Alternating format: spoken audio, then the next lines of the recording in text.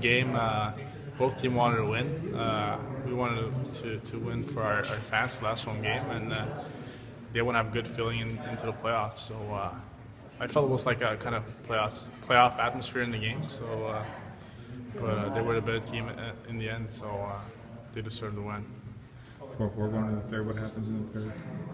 I don't know. Like they get some lucky bounces. Uh, it's penalty kill, power play. Uh, just the way the game goes, and uh, unfortunately, we, we can get the bounces today. So, uh, and they win.